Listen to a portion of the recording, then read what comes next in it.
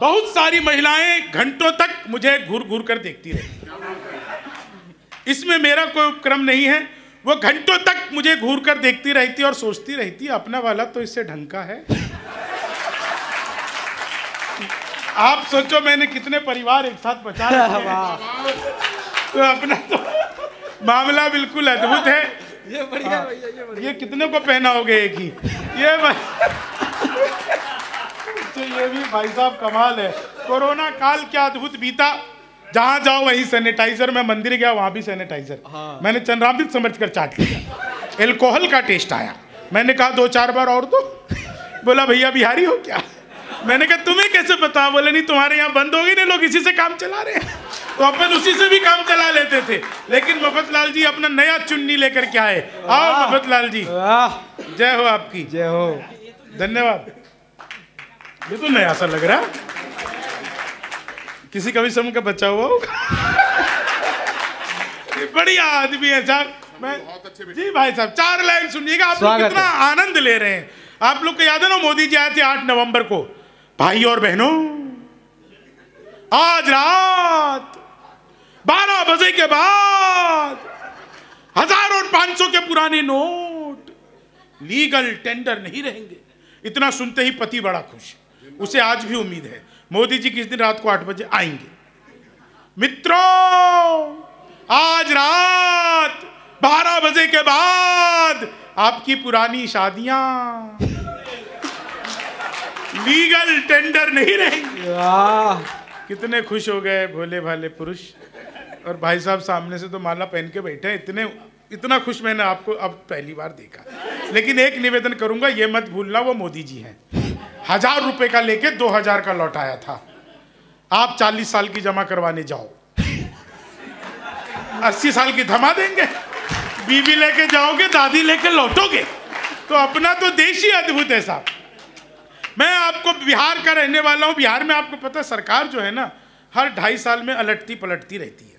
हमारे नीतीश बाबू जो हैं वो पलटते रहते हैं। तो, तो उनका एक ये मानसिकता हो गई है। मैंने उस मानसिकता पर चार लाइनें लिखी। बहुत लोग प्रेम से सुनते हैं आपको भी मज़ा आ जाएगा साहब ये पलटू राम हम उनको कहते हैं आप सब जानते ही हैं। इस पर सुनिएगा चार लाइनें। कि उन्नीस थी तुम हमने चाह बीस की तरह। उन्नीस थी तुम हमने चाह बीस की तरह।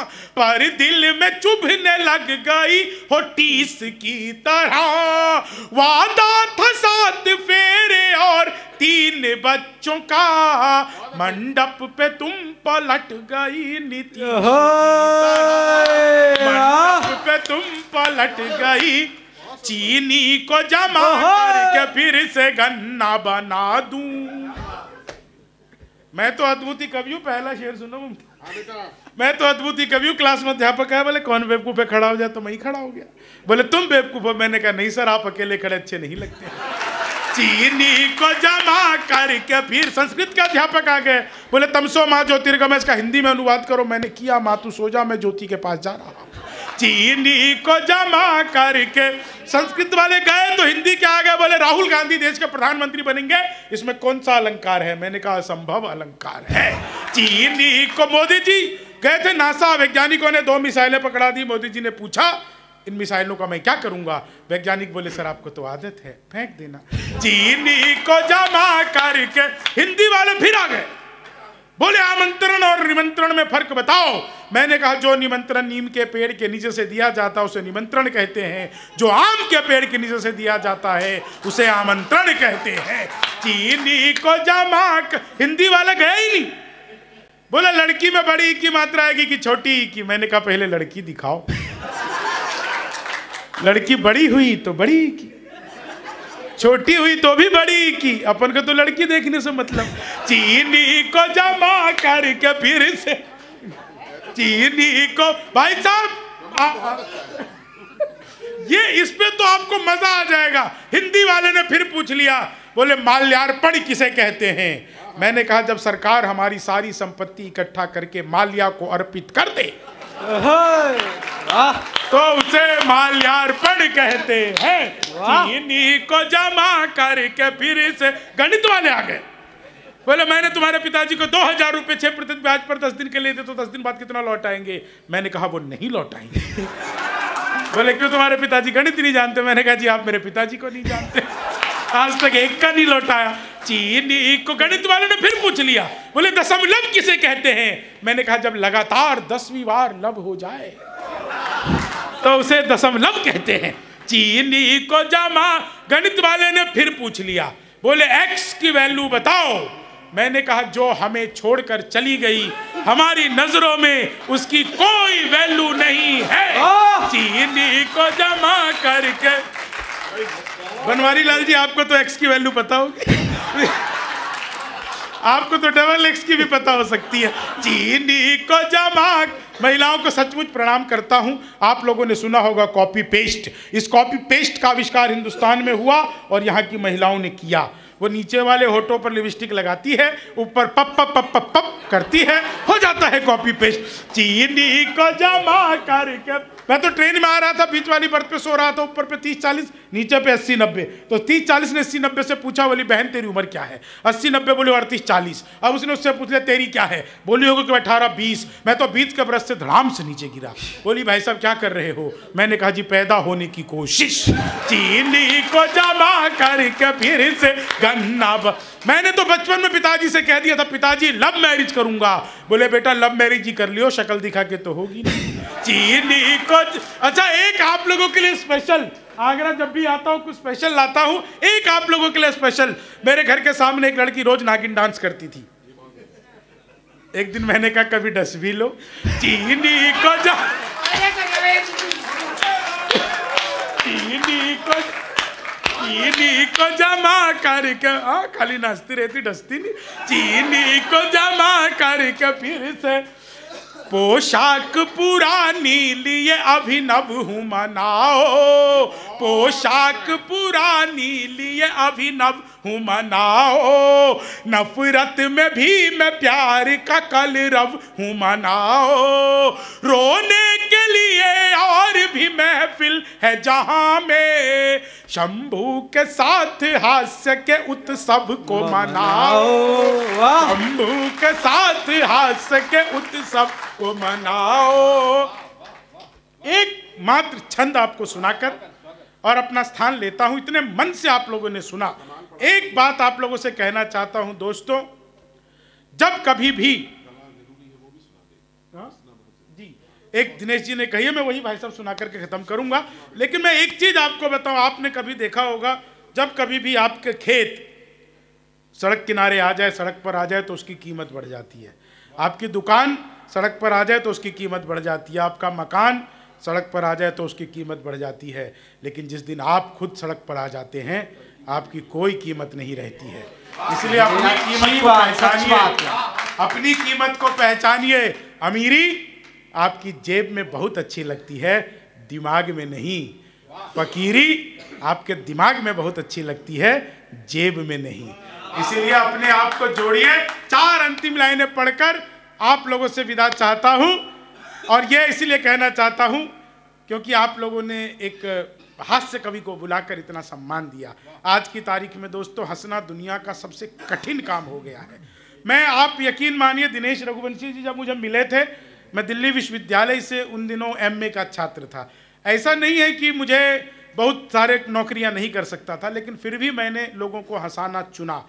जैसा कि बलराम श्रीवास्तव जी आपको कह रहे थे बिल्कुल सच बात है दोस्तों मेरी सबसे पहली पुस्तक जो आई थी वो गज़ल की थी। मैंने गज़ल की मेरी किताब आई हुई है वो मैं लिखता था। लेकिन मैं साहब मैंने हास्य चुना और हास्य मैंने क्यों चुना ये चार लाइनें सुना करके। इससे पहले एक एक छोटा सा याद आ गया कि अपने जख्मों को भी आईना बनाया हमने। अंजुम रहबर जी कहती हैं जी। अपने जख्मों को भी आईना बनाया हमने आपको हंसता हुआ चेहरा दिखाने के लिए। इतना आसान नहीं खुद का तमाशा करना कलेजा चाहिए लोगों को हंसाने के सच बात है वाह।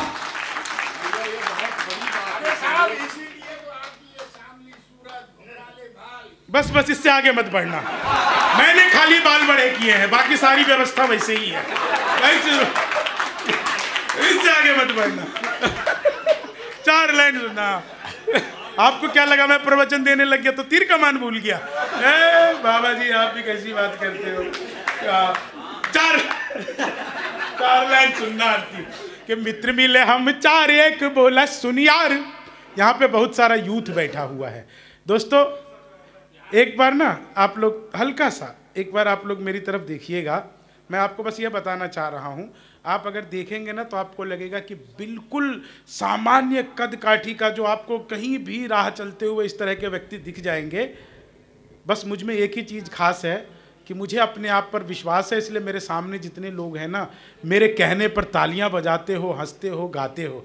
आपको अपने ऊपर विश्वास हो गया तो सारी दुनिया आपके ऊपर विश्वास करेगी। अपने रूप रंग कद काठी पर मत जाइए अपने विश्वास पर जाइए अपने हौसले पर जाइए कि मित्र मिले हम चार एक बोला सुनी यार जोश के बिना तो ये जवानी सुनी सुनी है। हाँ। दूजा बोला जोश से ही काम चलता नहीं है हौसला जो ना हो तो रवानी सुनी सुनी है। तीजा बोला, मैं तो बस एक बात मानता हूँ, प्यार के बिना सभी कहानी सुनी सुनी है। मैंने कहा, प्यार जोश हौसला सही है, पर हँसी ना हो तो ये जिंदगानी है।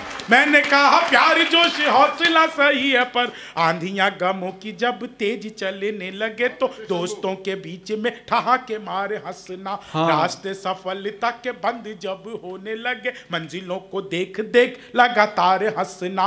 अपने पराए जब रूठ जाए तुझसे तो खुद से लिपट कर बार बार हंसना। बात मेरी एक गांठ बाँध रख ले तू प्यारे सैकड़ों दुखों की दवा एक बार हंसना। बात मेरी एक गांठ बाँध रख ले तू प्यारे। कहाँ चल दिए बाबा? ये जाने की उम्र तो नहीं है। नहीं आपकी क्या चिंता करना? एक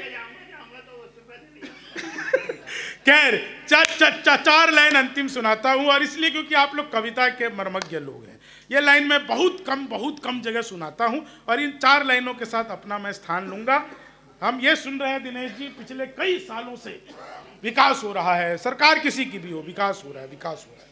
आपको लगे कि एक कवि ने, बनवारी लाल जी, एक कवि ने एक बेहतरीन लाइन पढ़ दी हो, मफत लाल जी, एक कवि ने एक लाइन कह दी हो आप तमाम लोग तिवारी जी बाकी लोगों के नाम से परिचित नहीं हूँ लेकिन सभी लोग एक कवि ने एक बात कह दी हो तो आप लोगों की विदाई की चाहे तालियाँ जी, स्वागत है। ईशान पहली बार सुना रहा हूँ मैं आगरा में ये मैंने कभी सुना स्वागत है दादा हमारा स्वागत। कि कुर्सी का कमाल राजनीति के दलाल डाल रोशनी पे जाल मोटा माल चरते रहे। हाँ। कुर्सी का कमाल राजनीति के दलाल डाल रोशनी पे जाल मोटा माल चरते रहे। झूठे मूठे वायदों की मीठी मीठी गोलियों से जनता के धन से तिजोरी भरते रहे। एक और इनके गोदामों में अनाज भर दूजी ओर भूखे प्यासे लोग मरते रहे। खुद के विकास को ही देश का विकास मान नेतागण अपना विकास करते रहे। खुद के विकास को ही देश का विकास मान। आभार धन्यवाद।